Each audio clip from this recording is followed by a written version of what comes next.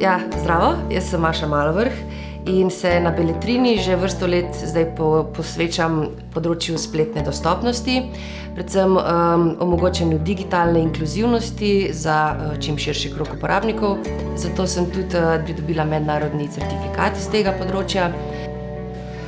Uh, ja, marsikdo ne ve, da se na Beletrini ukvarjamo s spletno dostopnostjo že vrsto let, že skoraj desetletje.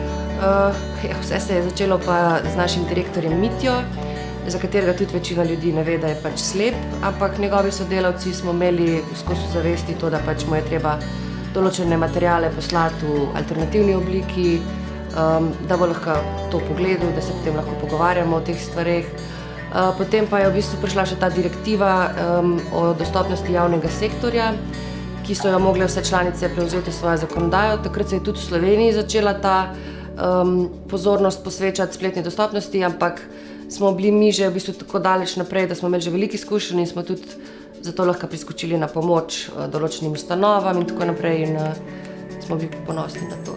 Petrina Mozilefaj, ilustracija, Mojca, Mojca Pišek je novinar. Danes je um, princip dostopnosti eden ključnih, ki jih pač na Beletrini vključujemo v tudi različne druge projekte Beletrinine, se pravi od dostopnosti raznih literarnih formatov, dostopnost eh, dogodkov za javnost. Eh, delujemo pa sodelujemo pa na tem področju tudi z, v projektih z mednarodnimi partnerji in tudi številnimi domačimi eh, organizacijami in ustanovami.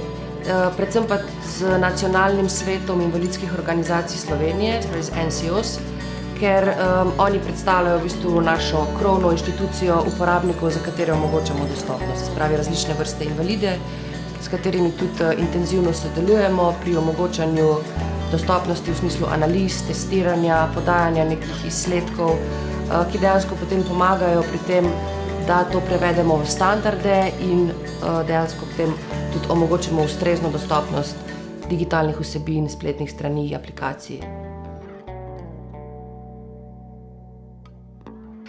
Digitalna dostopnost je pomembna na mnogih področjih, na praktično vseh področjih v življenju. Um, saj lahko koristi vsem uporabnikom, meni, vam, komorkoli, predvsem pa invalidom, se pravi ljudem z različnimi invalidnostmi, tudi ljudem z različnimi oviranostmi, pa tudi starejši populaciji, ki se veča, pa želi hkrati ostati digitalno pismena dlje časa. Tako da je uh, se dejavnost na tem področju močno razširila, um, vsaj od začetkov do zdaj, je pa še vedno veliko prostora za izboljšave. Ja, z digitalno dostopnostjo in spletno dostopnostjo se v bistvu omogoči vključevanje v družbo.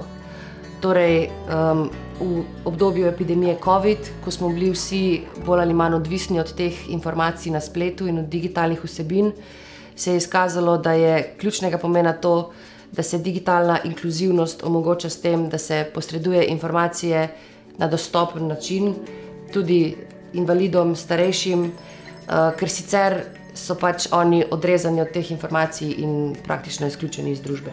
Moja želja je, da pač se o spletni dostopnosti oziroma o omogočanju digitalne dostopnosti in o teh potrebah sploh ne bi bilo treba več pogovarjati. Preprosto zato, ker bi se tega že vsi tako dobro zavedali in bi bil standard tega že tako visok, da pač jaz ne bi imela več službe in bi bila vesela.